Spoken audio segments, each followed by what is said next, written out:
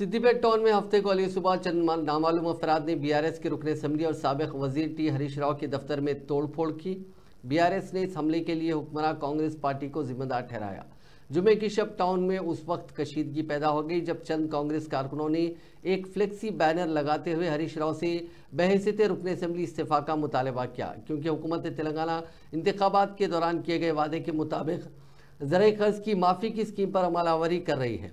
हरीश राव ने कबलजी हुकूमत तेलंगाना को चैलेंज करते हुए कहा था कि चीफ मिनिस्टर रेवंत रेड्डी अगर ज़रिए खर्च की माफ़ी की स्कीम पर अमलावरी करते हैं तो रुकने असम्बली की हैसियत से वो मुस्तफ़ी हो जाएँगे। जुमे की रात हरीश राव के हामियों ने फ्लेक्सी बैनर निकाल दिए, जिसके दौरान दोनों ग्रुप्स ने एक दूसरे के खिलाफ नारेबाजी की।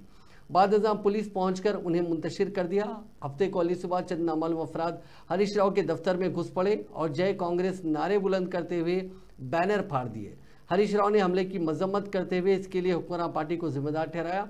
सबक वज़ीर ने एक पर एक पोस्ट करते हुए कहा कि कांग्रेस के गुंडों ने निश्चप को सिद्धिपेट के रुकने असम्बली की सरकारी रिहायशगा पर हमला किया जो लाकानूनीत की तशवीशनाक मिसाल है।